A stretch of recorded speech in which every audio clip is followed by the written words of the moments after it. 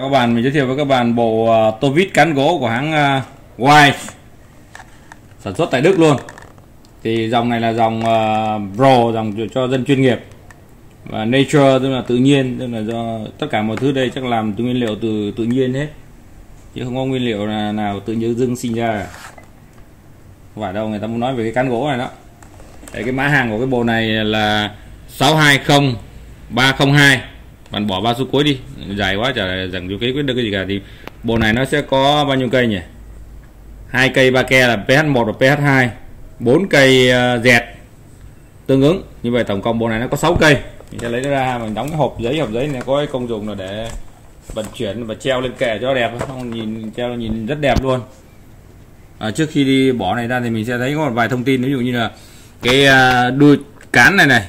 Phần là cán này bằng gỗ rồi ha phần ờ, đáy phần màu đen này này nó bọc một cái lớp da à, leather cap kép là cái bọc cái lớp cái mũ này bằng ờ, da. Vì sao tao bọc, bọc bằng da tí xíu mình nói. Ở đây nó có cái góc lục lăng ở đây lưỡi này là bằng uh, uh, hợp kim và uh, bằng chrome vanadium tôi cứng bằng cao tần. Tôi cao tần á. Rồi thông số như vậy. Thì họ thường có quảng cáo thêm một vài món khác mình không quan tâm món này mình hay quan tâm với cái tô biết cán gỗ này thôi. Rút nó ra đấy, nhìn đẹp vậy đó. Để đây, nhìn cho đẹp. Nói nó mệt quá, nó nằm đây này. Ok, thì là họ bày lên trên đây như vậy, nhìn cho rất là đẹp, mỗi bên ba cây. Điều kỳ lạ là chỉ có hai cây tôi vít, ba ke thôi, hai vít ờ, bốn cành thôi. Thì mình sẽ lấy một cây ra, thì để là review một cây thôi, vì nó sẽ giống nhau hết. Bản thân cái cán này thì cây nào lớn thì cán lớn, cái nào nhỏ thì cán nhỏ để cho nó vừa cái xoay xoay tay mình cầm. Mình lấy cây này đi ha. Rồi. Cái này là cây uh, PH2 thì nó chắc có một vài điểm như bạn thấy ở đây ở phía sau này họ, diễn giải này, này. nó đầu khỏe dữ. Ủ cổ luôn. Rồi. Đầu tiên ha bạn thấy là cái phần này màu đen màu đen là mình nói rồi nhiều tất cả các tô vip vào đầu này màu đen tức là người ta tôi cao tần. Để cho nó cứng. Để cho cái phần này nó cứng nhưng bên lõi bên trong nó không cứng thì lõi bên trong nó vẫn mềm thì nó sẽ bền hơn. Vì khi vặn vặn thì là cái moment nó dồn ra bên mé ngoài mặt ngoài ứng suất mặt ngoài lớn hơn bên trong.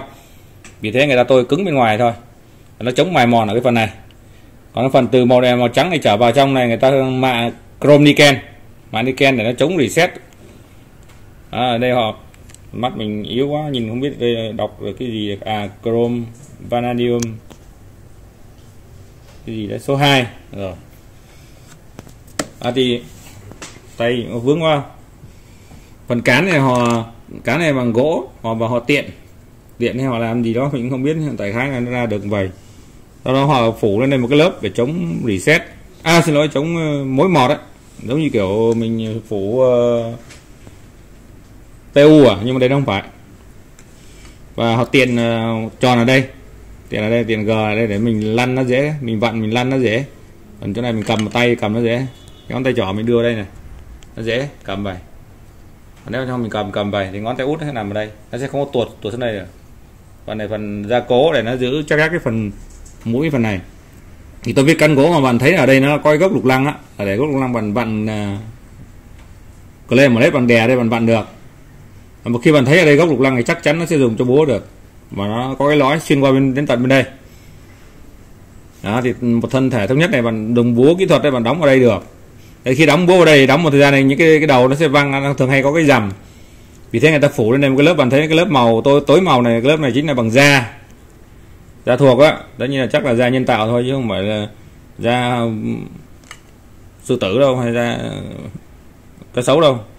À, thì cái lớp da này nó có cái công dụng là nó mềm để nó nó mềm để nó giảm bớt lực ờ, của búa. Và thứ hai là khi bạn gõ vào đây một thời gian gõ nó sẽ tạo ra những cái dầm, cái dầm nó dễ dàng dễ đâu dễ bị đâm vào tay ấy cái dầm. cho nên là người ta làm bằng da là vì lý do đó. Thì các bạn có thể tham khảo thêm ở trên website người ta ghi rất là rõ tại sao nó lại như vậy trong tài liệu của hãng quay bạn vào trong website của họ là bạn có thể download nó xuống được. Ok như vậy một bộ như vậy có giá là 990 ngàn. Rất đẹp luôn thế nên là khi bạn về bạn lấy ra, bạn phải bỏ cái này đi.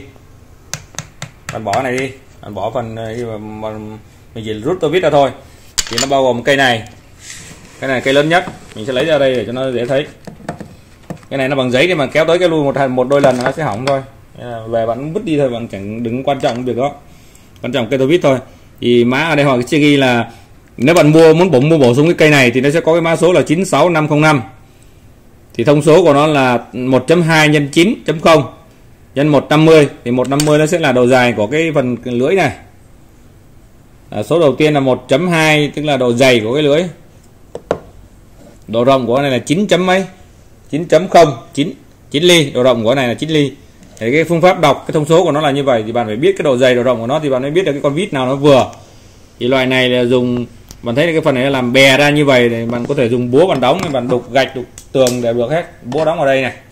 Ở thấy nó có lõi trắng là thông lõi thép thông suốt qua bên đây luôn. Thì cán gỗ nó nhìn nó nghệ thuật, đẹp. Cây dẹt thứ hai là cây này. Thì trong trường hợp mà bạn đục bạn mở ốc hoặc gì đó mà thấy nó nó cứng quá, nó không ra được á, thì bạn có thể đóng búa ở đây. Sau đó bạn kết hợp với lại cái mỏ lết ở chỗ này. Mỏ lết hay cờ lê cũng được, miễn sao nó cùng sai ở đây là bạn vặn được. Bạn giữ hai tay bạn vặn được và sau bạn vặn ha, đóng bạn vặn vặn hai tay luôn. Đó, vậy đó. Thì cây này có thông số là 1.0 x 7.0 x 125 125 là độ dài của đoạn này. Tương ứng như vậy cây này. Nhanh đi ha, đúng, nó nhiều quá. Cái này sẽ là 0.8 nhân 5.5 và nhân 100 bạn chỉ quan tâm quan tâm cái thông số của cái lưỡi thôi. Vậy rồi tiếp cái này là 0.7 nhân 4.5 nhân 90 cây này là pH1 nhỏ nhất là pH1 còn cây này là pH2 là cây mình, mình review nhiều nhất đó. Thì một bộ như này 990 ngàn. Lần đầu tiên mình nhập uh, hãng quay về nên là mình sẽ bán khuyến mãi với ờ, 5 bộ đầu tiên. Giá là 690 ngàn. Các bạn nha 690 ngàn giá. Còn rẻ hơn cả hàng Đài Loan nữa. Rẻ hơn là rẻ hơn cả hàng Trung Quốc đó. Đài Loan ăn thôi gì? Nhật thì giá này thì không có cửa rồi. À, ha 690 ngàn cho 5 bộ đầu tiên cho 5 người đầu tiên thôi. Còn uh, giá bán bình thường sẽ là 990 ngàn. Khi mà vàng lên thì có thể ờ, một triệu. Mà để nó ngủ đi gối đầu đi. Anh da. giữ nha.